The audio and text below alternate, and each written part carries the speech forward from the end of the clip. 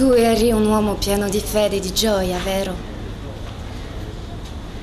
E poi un giorno ti sei svegliato, hai aperto gli occhi, hai guardato il mondo, hai visto che la tua sfortuna è nata. Allora che stavi pronto da fare sacrifici, impegnarti, ti sei accorto che nessuno te lo chiedeva.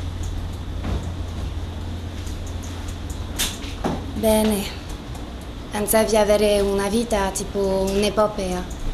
È diventata un piccolo salotto borghese dove la gente si soddisfa, no? E anche dove, dove quello come te, che ha un'altra cosa in sé, che porta una, un altro desiderio, è un pazzo, un degenerato. Bene, stavo come te, stavo una bambina adottata, pensavo fare grandi cose nella vita, seguire grandi esempi, essere la moglie di un re, l'amante di un rivoluzionario, che ne so.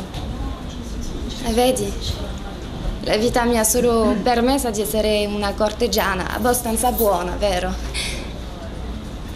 Le donne nel mio genere possono solo invecchiare davanti a una macchina da scrivere al servizio di, un, di una fabbrica di soldi o essere una sorta di prostituta. Pensi che non ti capisco? Pensi che non posso capire la paura che hai di andare a ballare nelle taverne, di sentirti diverso? Il timore al fronte della guerra, al fronte del modo in cui la gente pensa, legge, costruisce. Ti capisco troppo bene sono come te, però un mondo come oggi non è, non è felice quello che è come io, come me o come te, lupo delle steppe.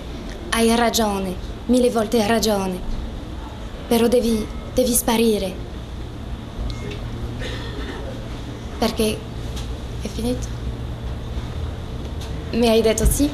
Ah no, perché quello che come te o come io, quello che vuole delle, dei capolavori musicali e non delle melodie di pacottiglia, delle taverne, quello che vuoi, vuole delle passioni assolute e non dei passatempi divertenti. Non è a casa sua in questo mondo. La sola libertà che hanno gli esseri liberi è di uccidersi. Dai, andiamo a ballare. Mi chiamo Carlotta Verni, sono attrice francese e ho portato questo pezzo di un spettacolo che ho scritto per il teatro. È un adattamento di, di un romanzo di Hermann Hesse che si chiama Il lupo delle steppe.